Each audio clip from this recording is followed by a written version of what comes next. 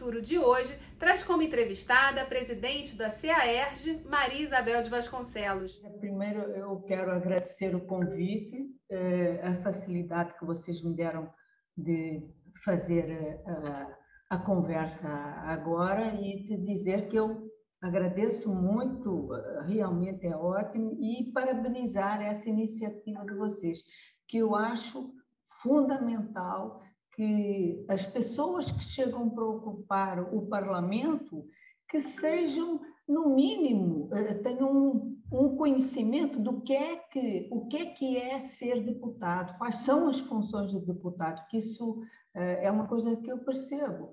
Uh, a gente vê que os deputados mais antigos são muito mais ágeis a, a, a, trabalhar, a resolver as coisas, enfim, mas eu acho importante isso, não, não vou uh, me alongar muito sobre esse assunto, só reiterar os meus cumprimentos sobre isso, que acho muito bom. Esse é o primeiro passo, né? Na verdade, eu queria que você contasse para os nossos telespectadores, Maria Isabel, o que é a CAERJ e como ela funciona e onde ela está localizada. Muito bem. A CAERJ é a Sociedade dos Engenheiros e Arquitetos do Estado do Rio de Janeiro e que os seus associados são servidores públicos uh, dos municípios e do Estado do Rio. A CAERJ completou 87 anos, uh, é uma entidade, portanto, que já tem uma longa história. Uh, eu sou, acho que a quarta mulher presidente, eu acho que isso também é, é um avanço. E as nossas pautas, na realidade, quando a CAERJ foi criada, construída, porque ela vem se construindo ao longo dos anos, né?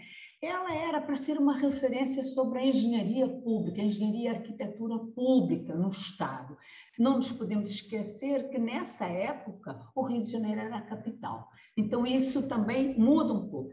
E a CIAERG, nós temos isso documentado, porque nós temos um centro cultural, eh, nós ficamos localizados na Glória, onde está a primeira a estação de tratamento de esgoto das Américas, tá? ainda é do tempo do Império, uh, só para explicar, quem quiser ir lá visitar as máquinas, uh, aquilo era cercado de água, onde hoje está aquilo era água. Chegavam ali umas barcaças e o esgoto era julgado dentro dessas barcaças que iam ao longo da baía e descarregavam já esse esgoto foi, portanto, a segunda estação de tratamento da América, da América não, do mundo, das Américas foi a primeira. Então, naquela época, Dom Pedro realmente era uma pessoa iluminada e uh, procurou por isso. Mas, enfim, voltando à CAES, então, uh, sempre o tomo foi em cima da engenharia pública como uma referência. Assim, por exemplo, todos os nossos associados participaram das obras do Estado e dos municípios. Né? Então, quando você fala de expoluição da Baía de Guanabara, quando você fala da construção da Ponta Rio-Niterói, quando você fala dos túneis, quando você fala do alargamento da, Copa, da Praia de Copacabana, da duplicação da, Avenida Atlântica, do alargamento da praia, será, tudo, mais atualmente da linha amarela. Então, tudo tem um associado da CAES que trabalhou nisso. Então, nós temos uma memória da cidade. E por que, que eu acho importante quando você falou desse encontro com os deputados? Uh, administrar uh, o Estado, a parte do executivo, é uma coisa, mas eu acho muito mais importante os parlamentares os parlamentares têm uma influência muito mais forte do que eles imaginam. A gente percebe o veto, muitas vezes, que são dadas a, a determinadas leis, a, também a participação dos deputados na elaboração de leis que vão melhorar a, a vida para todas as pessoas. Então, isso são muito importantes. As questões ambientais. Né? Então, é, há uma tendência, e eu já vou puxar a brasa para a minha sardinha, enquanto é, presidente da CAES, portanto, servidores públicos, quando você está trabalhando com o desenvolvimento, você tem a receita e você tem a despesa de um Estado. A primeira coisa que se faz, como se fosse uma dona de casa, é cortar nas despesas. E as despesas, isso que é que é? Cortar no salário dos servidores. Isso não é assim no Estado, pelo contrário. Você exatamente tem que aumentar a receita. E o que é, é aumentar a receita, já que a gente está a falar em desenvolvimento? Por exemplo, é nós termos mais obras, porque quando você tem obras públicas, você atende não só ao engenheiro, ao geólogo, ao arquiteto, não, você atende a toda uma cadeia uh, de trabalho que é importantíssimo, que vai até o peão. Então, é isso que a gente tem que uh, pensar, né?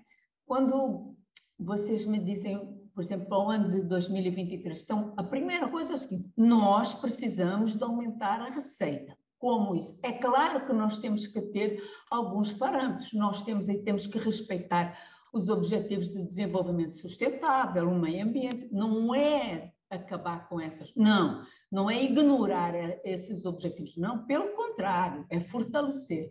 Mas o que é que a gente vê? Acabou a indústria naval, acabou a indústria petroquímica, acabou, não existem mais indústrias, são pouquíssimas as indústrias no estado do Rio de Janeiro.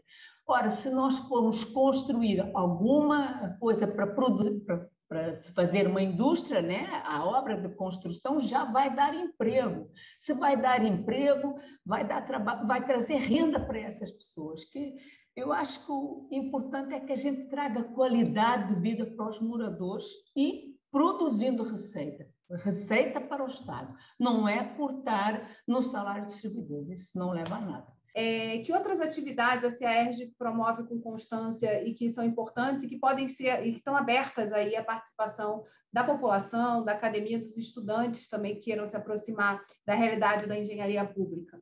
Ótimo. Nós temos no Centro Cultural, portanto, arquivos fantásticos sobre toda a história, desde, portanto, há 87 anos para cá, sobre a engenharia pública. Então, nós estamos abertos para que os estudantes possam ir lá fazer as suas pesquisas. Né? Nós tivemos um, um problema com uh, o nosso auditório, mas a gente está recuperando isso, né? então nós, uh, portanto, temos um maior interesse em nos voltarmos para os jovens, para os alunos. Por exemplo, uh, não tem a ver, tem a ver sim com o município do Rio de Janeiro. Agora nós estamos a trabalhar, por exemplo, nós participamos da discussão do plano diretor. Por quê? Muitos, como eu disse, muitos de nós fomos Trabalhamos no primeiro plano diretor de 92, então a gente sabe o que é que ficou ruim, o que é que precisa ser melhorado, o que é que então isso aí é muito rico. Nós temos essa participação e sempre que podemos a gente está junto em qualquer assunto que seja relativo à cidade e ao estado do Rio, como por exemplo quando foi agora a tragédia de Petrópolis, nós promovemos também debates, é, é isso que a gente quer. A gente quer, é, portanto, congressar com todos os municípios que a gente possa ajudar e passar um pouco da experiência do que nós tivemos aqui é, e fortalecer também, no caso do Estado, a questão do IEA, que é uma coisa que eu percebo, que eu vejo no, no Estado, nos municípios pequenos, é que eles não têm condição de ter engenheiros e arquitetos lá. Mas eu acho que aí podia haver uma sessão dentro do Instituto de Engenharia e Arquitetura Estadual que houvesse uma sessão de engenheiros e arquitetos, porque esses municípios não têm uh, profissionais suficientes para darem conta, mas de repente há uma sessão empresta, né? E eu acho que isso é que é importante a gente fortalecer esse IEA eh, e poder ajudar os municípios. Eu acho isso bom. Você trouxe uma agenda setorial fundamental e eu gostaria que você falasse um pouquinho mais sobre o Instituto, muita gente não conhece, e também qual é essa, essa demanda né, de aproximação dos municípios com o Instituto? Olha, esse é um assunto que é muito caro à CAES. Caro por quê? Porque o Instituto, foi quando foi criado, foi assinado lá na CAES.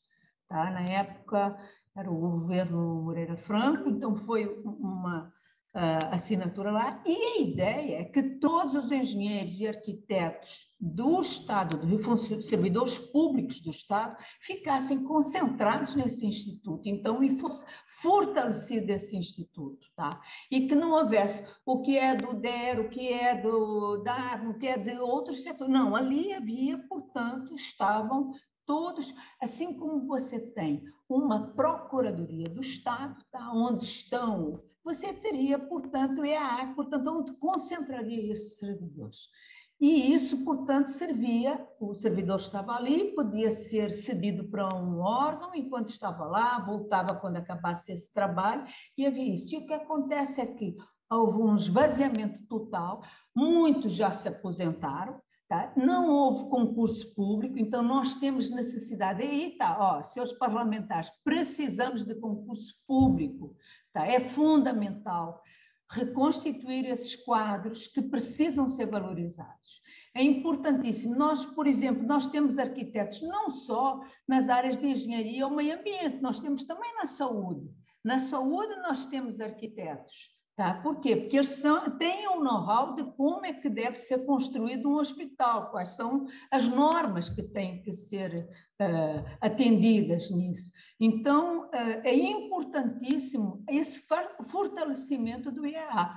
Né? Então, e isso é uma das coisas que está esvaziado. Nós temos que repor esses funcionários, eles têm que ser valorizados. É importantíssima essa valorização do servidor público, tá? Não é pagando mal os seus salários, porque aí entra-se naquela história: quem é que vai querer continuar servidor público se não é bem remunerado? A pessoa também tem as suas contas para pagar, não é uh, qualquer dinheirinho que vai ajudar, não é por aí. Então, uh, quando eu dizia lá no início a história da, da receita e da despesa, que ah, vamos aqui reduzir a despesa, então não aumentamos os, os servidores, não uh, damos triênios, não é por aí.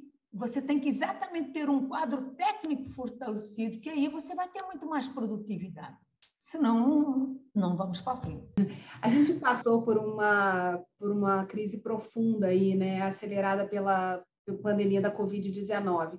E, e, a senhora já começou a desenhar e a estabelecer algumas das diretrizes do que, que deveria estar na agenda é, do parlamento para os próximos quatro anos, mas aí a pergunta vai objetivamente para esse ponto, quer dizer, é, dado, dado todo esse processo de transição, aceleração também da digitalização que aconteceu nos últimos anos, qual deve ser a agenda de desenvolvimento para o parlamento para os próximos quatro anos? Eu acho que a gente deve continuar com esse plano estratégico de desenvolvimento integrado da região metropolitana. Eu acho isso fundamental. É claro que o Estado do Rio de Janeiro não é só região metropolitana, de maneira nenhuma, tá?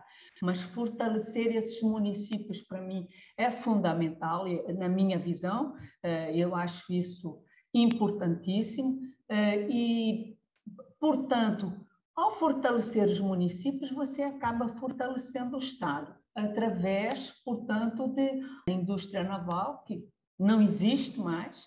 Nós tínhamos um, um mercado riquíssimo em Niterói, eram vários estaleiros que acabaram, não existem mais. Tá? A indústria da petroquímica também, o petróleo, que hoje em dia não se tem mais. Então, isso aí são coisas que a gente tem que prestar atenção. E é claro, uh, eu acho que isso tudo tem que estar junto com a história da educação. Educação é fundamental, não dá para nós descuidarmos disso. Quer dizer, isso é uma pauta que não tem a ver uh, com a minha entidade, mas eu acho que isso é universal.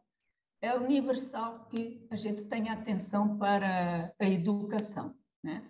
Então... Outro ponto importante citado pela senhora foi a questão da Agenda 2030, né, dos Objetivos de Desenvolvimento Sustentável. Como a CAERJ pode contribuir nessa discussão sobre sustentabilidade, dado o foco de vocês também nessa, na engenharia, né, nas construções que são tão importantes para poder manter o Rio crescendo e funcionando?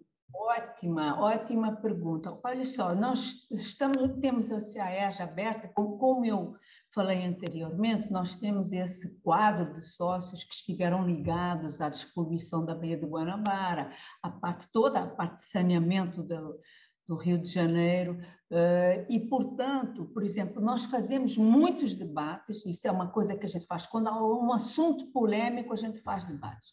Por exemplo, agora, neste momento, nós estamos a discutir muito o Rio Carioca. No caso, fica aqui na cidade uh, do Rio de Janeiro. Mas também, por exemplo, quando houve os desastres em Petrópolis, nós também fizemos debates sobre isso. Então, nós achamos importante que a sociedade civil participe, já que nós temos essa prerrogativa de ter profissionais que têm conhecimento uh, do assunto, que eles possam ouvir a, a, a, sociedade e até contribuir para isso. Então, nessa parte uh, do saneamento, eu acho importantíssimo, a gente dizia uh, que, e disse sempre, que a SEDAI era uma empresa que dava lucro. Mas a gente não pensa o seguinte: dava lucro, mas não eram todos não eram todas as casas que tinham saneamento. Dava lucro talvez porque não foi não foi investido em saneamento.